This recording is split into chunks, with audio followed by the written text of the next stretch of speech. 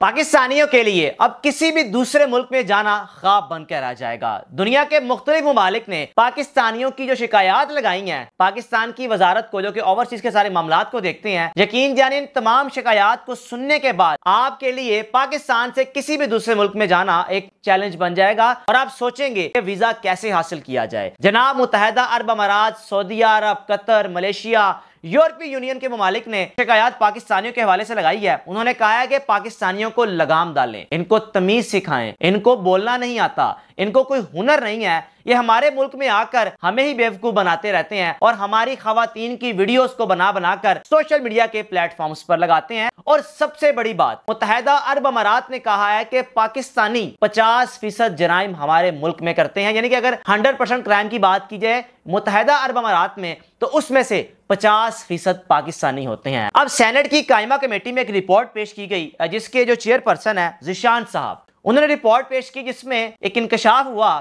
انتیس ہزار پاکستانی اس وقت دنیا کے مختلف ممالک میں جیل کی قید کاٹ رہے ہیں، جس میں سے نو ہزار سعودی عرب میں اور ساڑھے نو ہزار متحدہ عرب امارات میں موجود ہے اب سعودی عرب نے کیا کہہ دیا؟ انہوں نے کہا کہ سب سے پہلے ہم اس کو ویزا دیں گے جس کے پاس کوئی ہنر ہوگا، جس کے پاس تعلیم ہوگی، یا جس کے پاس کوئی ایسا ہنر ہو کہ پتا ہو کہ سعودی عرب میں آ کر ہمارے ملک میں رہنے والوں کو نقصان نہیں پہنچائے گا، یا یہاں پر آ کر کوئی ایسا کام نہیں کرے گا تو ہمارے لیے شرمندگی کا باعث بنے۔ اب متحدہ عرب امارات کے وزیر نے کیا کہا کہ بھئی ہمارے ملک میں پچاس فیصد کرائم پاکستانی کرتے ہیں۔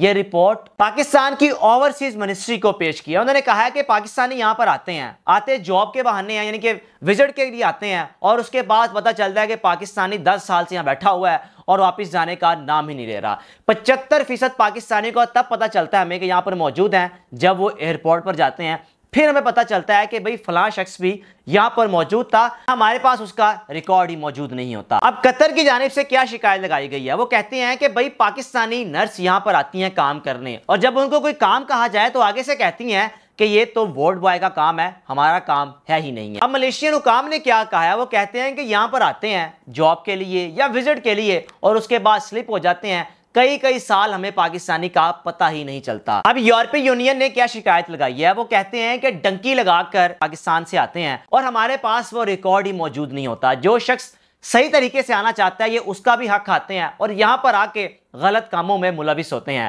اگر پاکستان نے اس چیز کو نہ روکا، جو کہ ڈنکی لگا کر آتے ہیں، تو ہم اس پر بھرپور ایکشن لیں گے۔ اب فیصلہ آپ نے کرنا ہے کہ پاکستانیوں نے دنیا بھر میں پاکستانیوں کا امیج کس طرح بحال کرنا ہے؟ بہرحال جو امیج بن چکا ہے، وہ امیج اتنا خوفناک بن چکا ہے پاکستانیوں کے لیے کہ اب ویزا ملنا مشکل ہو جائیں گے۔ اب متحدہ عرب امارات نے کیا شکایت لگائی؟ ہے وہ کہتے ہیں کہ بھی یہاں پر پاکستانی آتے ہیں ٹک ٹاک ویڈیوز بناتے ہیں۔ اگر آپ سی ویو میں چلے جائیں، میں بھی دو سال قبل جب دبئی جانے کا اتفاق ہوا تو وہاں پر پاکستانی جو کہ سی ویو جاتے ہیں، وہ زوم کر کے ان خواتین کو کیپچر کرتے ہیں کہ جنہوں نے اتنا کوئی خاص لباس نہیں پہنا ہوتا، جو ان کا وہاں پر ایک کلچر ہے، وہاں پر گورے بھی آئے ہوتے ہیں، پوری دنیا سے وہاں پہ لوگ آئے ہوتے ہیں۔ اور بنا ان کی اجازت کے ان کی ویڈیوز کو بنا کر ٹک ٹاک پر پبلش کر دیتے ہیں اور ویوز حاصل کرتے ہیں۔ اور بتاتے ہیں کہ ہم پاکستانی ہیں، ہمیں ویوز لینے کا طریقہ آتا ہے اور ہم ایسے ہی ویوز لیں گے جو کہ خواتین نے وہاں پر شکایات لگائی ہیں۔ کہ ٹک ٹاک یا مختلف پلیٹ فارمز کے ذریعے ہمیں پتہ چلتا ہے کہ ہماری ویڈیوز فلاں جگہ گردش کر رہی ہے جو کہ ہمیں پتہ ہی نہیں ہوتا۔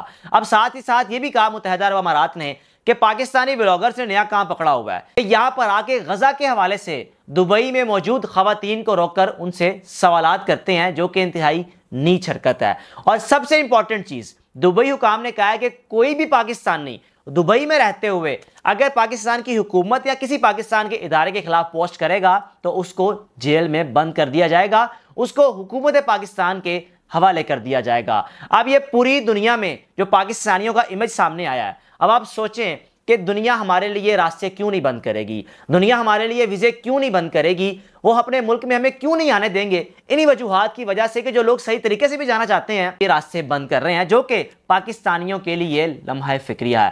فیصلہ آپ نے کرنا ہے، جو کہ اوورسیز پاکستانی موجود ہیں، اور میں سب کو نہیں کہہ رہا۔ یہ وہ لوگ ہیں جو نئے نئے پاکستان سے دبئی گئے، وہاں جا کے سی ویو دیکھا، وہاں کا ماحول دیکھا۔